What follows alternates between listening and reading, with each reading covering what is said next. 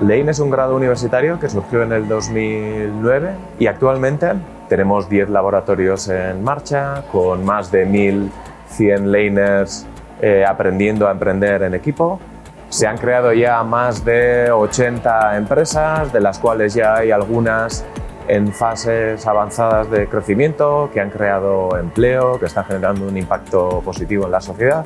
Y hemos tenido un diálogo eh, con las emprendedoras en equipo de Lane Puebla y la verdad que ha sido una gozada poder compartir y conocer más de cerca también la experiencia emprendedora que aquí, se, que aquí está ocurriendo.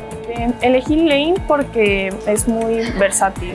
Desde el primer día nosotros empezamos a trabajar en equipo y este, tenemos tanto teoría como práctica, tenemos talleres, tenemos coaches que nos enseñan a, sobre cosas de negocios, marketing, finanzas pero al mismo tiempo pues los tenemos que poner en práctica con nuestros emprendimientos, este, proyectos. Es una cartera abierta de posibilidades.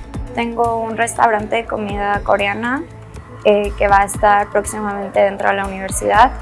Ese proyecto es mi proyecto de final de grado. Se ha desarrollado desde cero eh, con todas las bases y un modelo de negocios que se necesita, ya está próximo a ser funcional y que vaya creciendo y la idea es que se vuelva un modelo de franquicia que se pueda replicar en otras partes.